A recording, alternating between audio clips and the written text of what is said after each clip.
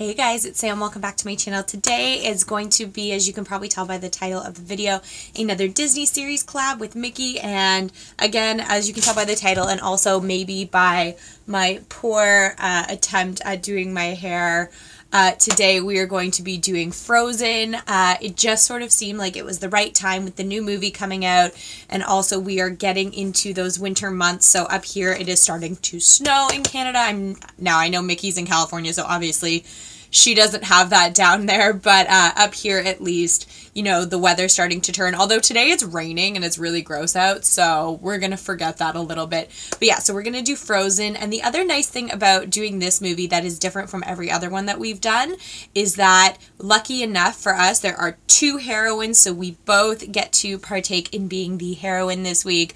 Um, I am doing Elsa, obviously, and she is doing Anna, and I've already seen her look. It is phenomenal. It looks so pretty.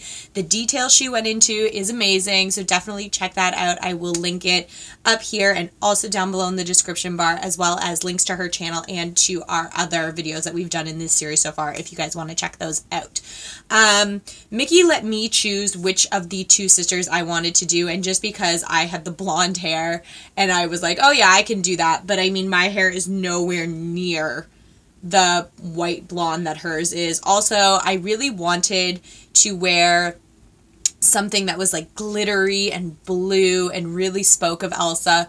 But unfortunately, I don't own anything like that. Um, I'm not the most girly person, and glitter just kind of gets away from me a lot. So instead, I decided to do like a big chunky sweater because the whole movie is about winter. So seemed kind of vaguely appropriate. Um, so I did that instead. So we're going to get straight into this. Uh, for my face today, I did do very, very dewy, sort of a lighter sheer. I don't have quite as much bronzer on as I normally would, just because I did want to stay true to her as much as possible. For my eye base today, I am going to be using this Dose of Colors Eyedeal Duo, and it is actually in the color Frozen, how absolutely appropriate. So if you've never seen these before, the top is sort of a like primer. Um, it's called loose pigment and primer, and the primer is sort of there to hold in place the loose pigment on the bottom, which is, in this case, like a shimmery color. We might be using that a little later, but for right now, I wanted to use this to prime my lids to give me like a nice white shimmery base. I do also, um, as like an alternative to this, if you don't have this, could use um, like a NYX eyeshadow base and this one is in white pearl so it has a similar effect it's just not quite as shimmery as um, the dose of colors one that I'm putting on now.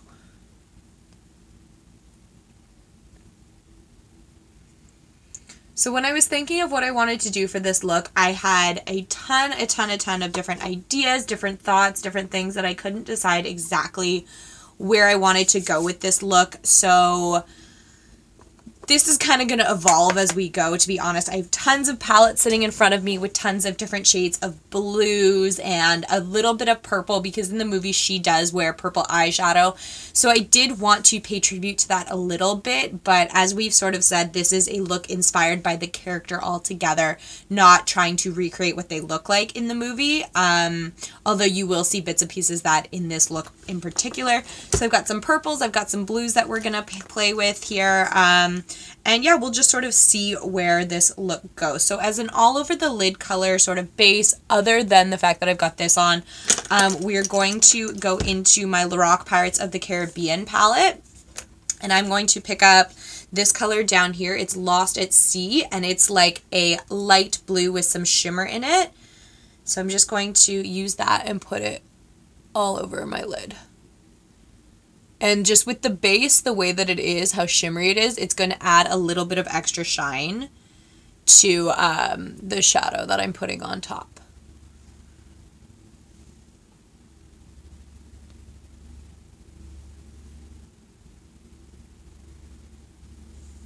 Okay, so to bring in a little hint of that purple, we're not going to stay crazy true to the purple. I do just want to add a little pop of it. So for the purple, which one do I want to use? I'm just trying to decide. Okay, I think we're going to use this one from my NYX Ultimate Brights palette. uh, right here, just this lighter purple up top. I'm just going to take a like, it is like a crease brush, but it's got a little bit fatter of a end so that it will fluff up a little bit more. So I'm going to pick up some of that purple color, not too, too much. I don't want this to overpower all the blues that we're going to be playing with later. And I am going to sweep that high and into the crease. That way, um, as we layer all of the blues in there, they will cover the majority of the purple. And my hope is that by the end, there will just be like a little bit of purple peeking out over the top of all the blues. So that will kind of um, bring in a little bit of that purple eyeshadow that she's got going in the movie without really getting away from those wintry like blues and silvers that I am uh, full on intending on using for this look. So that's going to be about all the purple we're going to be doing. Um, I just wanted to have a little bit of it in there. So the next color that I think I'm going to take is going to be in my NYX Wind palette. It's like the What's Your Element palette. It's going to be this color right at the top, this blue.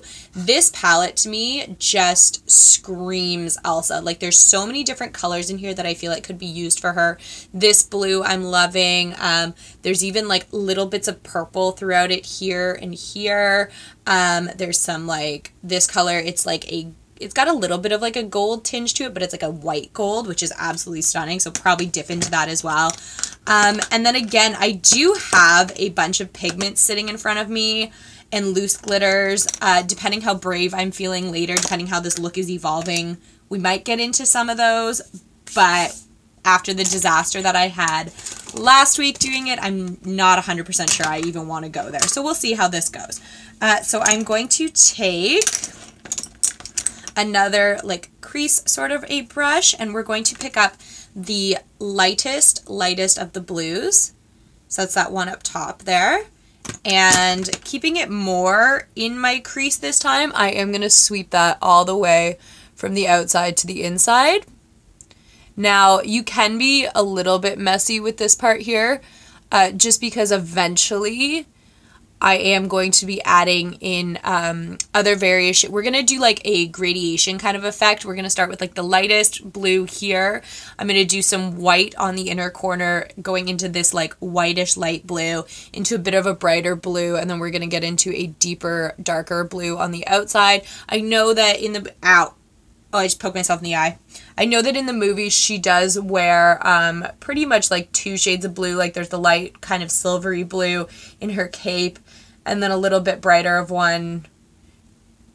Maybe I'm doing this reverse. No, yeah, no, I'm right. In like the the cape part of her gown and then the brighter blue on her gown. She doesn't really have any dark dark blues, but a lot of the movie too and I think for sure for her like biggest pride proudest moments uh, of the movie they do take place at night under like a like midnight blue sky so i do want to bring in some of that as well so that's where we're going right now with all of that blue and then I'm going to take, I'm just trying to decide if I like, ooh. I think I want to use the color out of that Lorac palette again, and this one is in Starry Night. Uh, just seems really appropriate for what I was just talking about. It is a very shimmery blue. So that color, I'm going to start on the outer corner and blend kind of about halfway. And if you guys have watched me do looks like this before, you know that I also do like to bring some in a little bit. I like to use a circular motion, like a back and forth up in the crease, and then a circular motion down on my actual lid. I haven't played with this palette in a while, and I kind of actually forgot how amazing these shadows are. And this is actually the reason too why um, I wanted to try more Lorac products. Um, because unfortunately you it, they're really hard to get up in Canada. Uh, the Lorac website does not ship up here. And, um, you know, even when they bring their stuff onto Ulta, it also will not ship up to Canada. Like they'll say like certain items in your cart will not ship and those certain items always tend to be the Lorac ones. So there's a lot more blue there. Like that. So now we're going to go in with our deepest blue. And I was looking at the colors and I don't want to go too, too, too dark. So I think we're going to use this color in the bottom. Uh, it is a darker blue, but it's also got a lot of those silver like hues to it. So even though it is definitely darker than the colors that I've got on my eyes right now, it's not going to um, overpower it too, too much. And we're just going to put that right on the outer corner. Like that. I actually need to look in a mirror. So it did get away from me a little bit out here, but I'm going to actually uh, leave it because I do intend on dragging some of that color downwards anyway. So I'll touch it up later on if it's still really bad, but for the most part, it can be fixed and nothing will ever be as bad as how much purple I got on my face in the last um, Disney series collab video that I did. So that's where we're at right now. I'm really liking the variation of the colors that uh, I picked. And you could really do this look um, using any color. Like this one's all in blues and is supposed to be super shimmery and wintry. But I could definitely see this working with greens or with purples, with, you know, the traditional one too would be just do it with browns if you're looking for more neutral. This is also the same basic kind of effect that you would use to get a really good smoky eye, starting with the white in the middle, going out to your darker grays. And then as a little trick from that I learned, um, I know everybody goes straight to that deep dark black on the outside if you're doing a smoky eye, but maybe try doing it with like a light gray or no, excuse me, not a light gray, like a very dark gray. It they do tend to be a little more forgiving than um you know, than a black is. Just as a little tip, that's what I tend to do. I do have a really dark black, but I find that I use gray more. So for a little bit of white, I'm going to take this MAC pigment. Now this particular one is in Warm Snow. So it's like a warm kind of a white color. And I did get this in a Christmas collection, but they definitely have very, very similar colors uh, available in their permanent line if you were looking for a white. So I'm going to take that into the corner and up and also a little bit down because I do want that white to be really, really stark in there.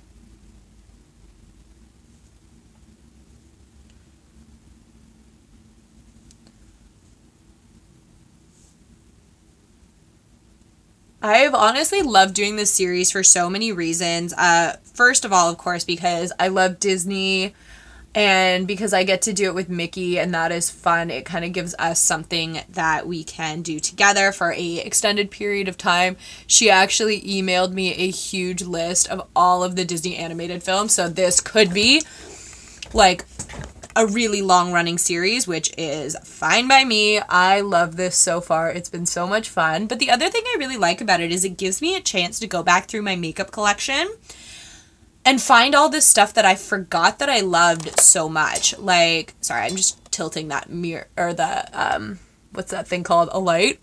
Duh. A little bit. Uh, it's been giving me a chance to go back into my collection and get use out of some of the products that I forgot I had.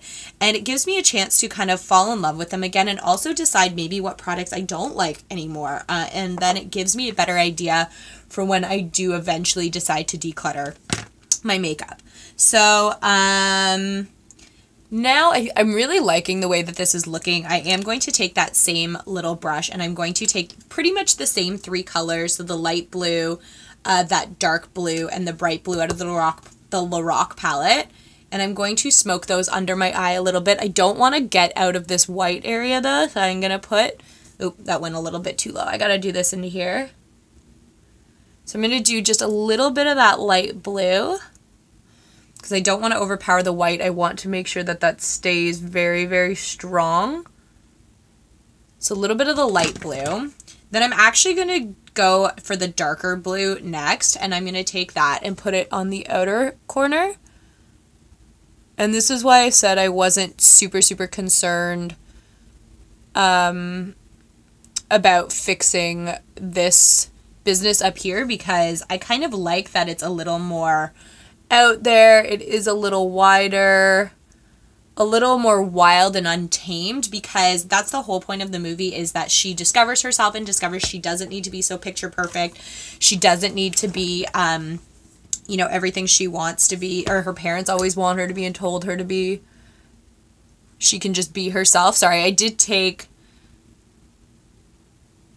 some of that other uh, color that we had used from the Lorac palette and I put that in the middle to kind of just like blend it all together and keep it going seamlessly throughout. Now one thing I did forget to grab was my NYX white jumbo eye pencil so give me two seconds I'm going to go get that and uh, we're going to use that next. Alrighty, sorry about that. So I did go get my jumbo eye pencil in milk just because I do think I want to put it a little bit in my waterline just to keep some of that white going. Uh, I'm going to do it using my mirror, but I'm going to try and do it towards the camera just so you guys can see what I'm doing. Just like that, just to give it like a little bit more of that white. Um, like that. Super, super easy. Um, I know that a lot of people use these as eye bases, and I do sometimes, but I do find it more useful to use in my waterline. Although I did just poke myself in the eye with it. Eh, that's okay. All right, so now I want to incorporate some of those shimmers and glitters that I was talking about before. I've just sort of been eyeing a bunch of them, trying to decide what exactly I want to use. And I do think I want to try this Dose of Colors one, um, just because the color is so appropriately named. And like, look at that. Look how shimmery it is. Now, I do have a second one. Uh, this is a MAC glitter pigment, but I do think I want to try this Dose of Colors one first and see how I like that. So I'm just picking it up. I wonder if I need Fix Plus for this. I don't think so. Can you guys see that?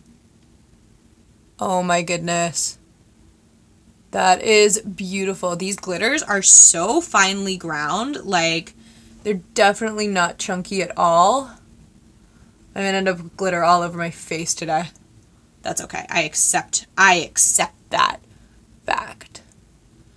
Uh, and the other thing I really like about this is that it's not, and I'm sure you guys have noticed, it's not taking away any of the colors from below.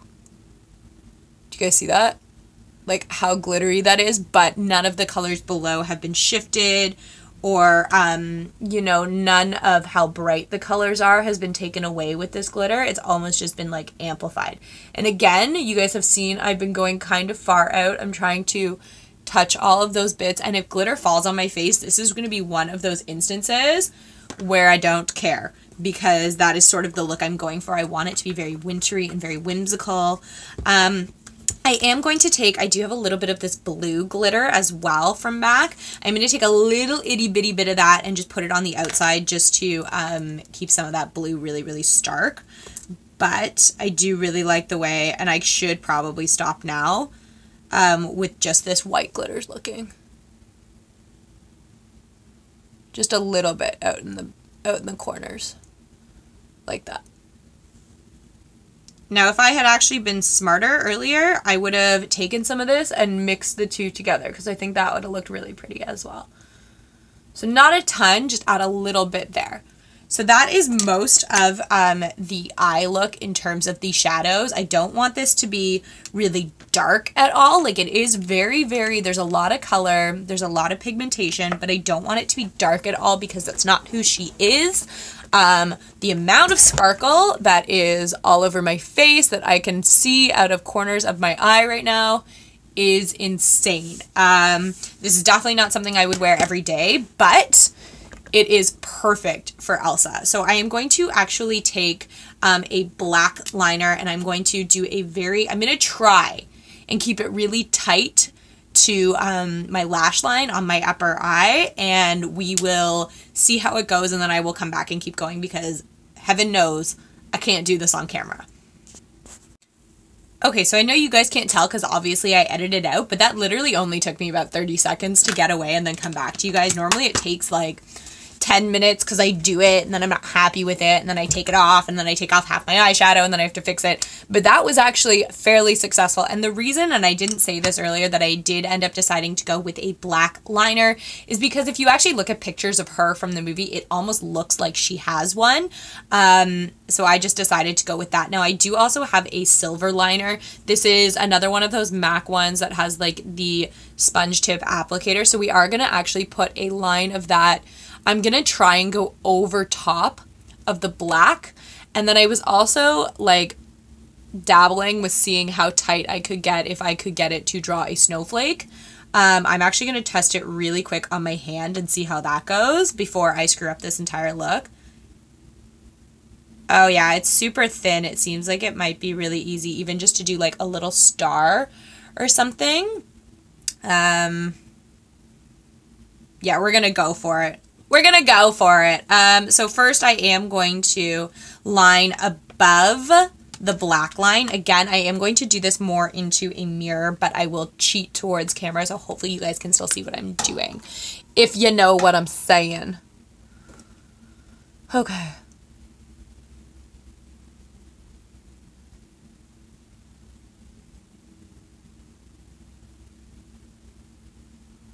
So I did do it, but honestly, it's getting pretty lost in the sparkle um, because there's already so much glitter on my eyes, but I'm going to do it on the other one because I might as well just keep them exactly the same now. So it's if you didn't see what I did, I'm going to just try and do it into the camera. Just see what happens. I just took it and went right above the black. So it's almost like a double liner. So it's like a line of the black and then a line of the silver. And now I'm going to definitely take some. And let's do, huh. I feel like this is the side that like you see her looking at from the most because that's where her hair is. So we're going to put the snowflake over here. Uh, you guys wish me luck. This I have to do into a mirror. I can't, I can't do it like that. But I'm going to make it so you guys can see it for sure.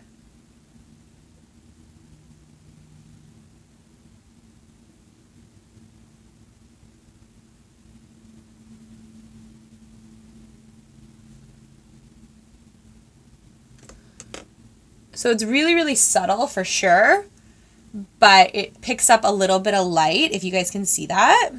I'll kind of try and show you there. It's also not the most uh, amazing snowflake. I pretty much just did a cross and then some lines through it. It almost looks more like a star than anything else. Um, I am not artistic. I don't claim to be. So that's what we're left with. Now, if I were feeling more adventurous, I would say it would be really pretty to actually just do a ton of snowflakes, like all around one eye in particular, like go down with them and up and into the look, but I don't want to screw up what I've already got going. I don't want to push my luck. So we're going to leave that there. I'm going to put on mascara. And for this, I don't want to put on false lashes, but I do want to have very separated, very long, lengthy lashes. So we're going to use Benefit Roller Lash first. And I like to use this just to get some really good separation with my lashes so that they all stand very far apart from each other. And the brush is also small enough that I can do a little bit on my lower lash line. Do the same over here.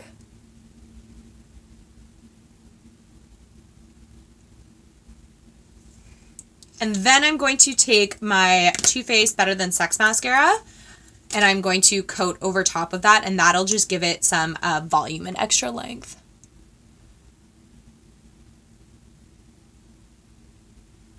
Give me those big, pretty Disney eyelashes that we all love so much.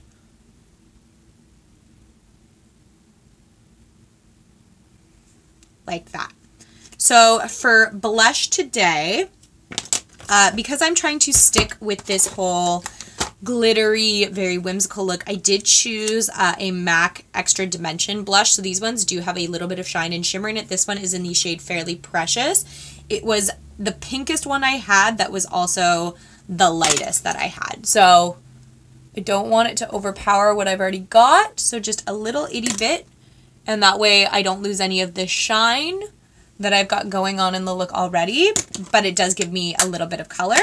And for highlight today, we are going to do a liquid followed by a powder highlight. Uh, for the liquid, now I don't know, and I'm pretty sure this isn't how these are supposed to be used. I'm like 90% sure you're supposed to mix these into your foundation, but since I've gotten them, I've just been using them as standalone highlights. So these are the Cover FX Custom Enhancer Drops, and this one is in Halo. So it's like this white that shifts to like a bluey purple color. Perfect for this look.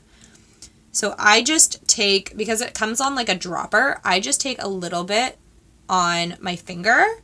Like, sorry guys, the recording stopped for some reason. I'm not too sure why. Uh, so like I was saying, I just took a little bit on my finger like that. And then I'm going to go put a dot there and drag it all the way down the bridge of my nose. Now this is going to be super, super glowy. Um, but that's been what this whole look has been about is being sparkly and shimmery, and so I am totally fine with that. Definitely brush it up in that cupid's bow. Then I'm going to take a little bit more. Now at this point, sometimes I do just put it straight on my face and then dot away after, but um, not today. We're going to just be very, very liberal with it and put it up that cheekbone there. Do you guys see all that glow? And then we're going to do the same on this side. And uh, today, too, I didn't mention it, but I should tell you now that before I put my makeup on to get this super glowy look, uh, I did put on some MAC Strobe Cream. I used the Silver Light. And I also, uh, afterwards, because I use my Natasha Denona Glow Foundation, so it does have some inherent, like, shimmer in it. I mixed that with my Marc Jacobs uh, highlighter dewdrop things. And then I also took my Natasha Denona Glow Powder, my face powder, and I brushed that all over my face as well. And then for a bronzer, I went with my Hourglass bronzing, like luminous bronzing powder because there's some shimmer in it as well. So then as a powder highlight, we are going with this MAC one again. I know I used this in another video recently and this is in Soft Frost. So I'm going to take a bigger, fluffier highlighting brush. This is my Natasha Denona one. And we're gonna just pop up that highlight as well. So that this is a super glowy, like wintry princess kind of a look which is kind of exactly what we're going for. And I'm going to come back into the light that I have here just so you guys can see how shimmery, how glowy uh, this look is.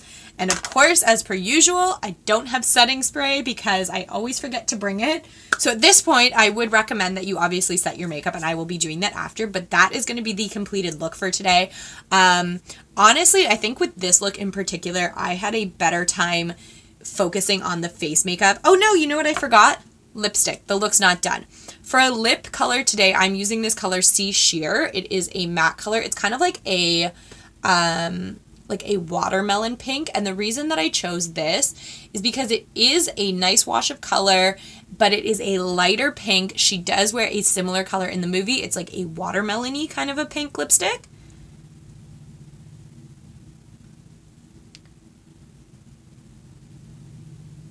like that. And because this is a luster finish, um, it's not super, super pigmented. It goes on as more of like a stain of color than a real, real, like really bold lipstick, which is perfect because we don't want to take anything else away. So like I was saying, for this look in particular, I actually had more fun getting the super glowy skin and the highlighting and stuff than I did the eyes, but I am in love with how this look turned out. It is so wintry, so so Elsa in my opinion. This has probably been my favorite look that I've done so far. Close, uh, it's a close tie between the look I did last week for Pocahontas because I loved that. I'm losing my mind. My thing keeps shutting off. So yeah, for my first attempt at a halo eye, I think it went really well. So this is going to be the look for today. I hope you guys enjoyed watching me do this. I've been loving this series and I hope you guys love it too. If you guys have any suggestions for what movie you guys want to see next, leave it down below hit the thumbs up button, like this video, subscribe to my channel. I would really appreciate it, and I will catch you guys next time. Bye.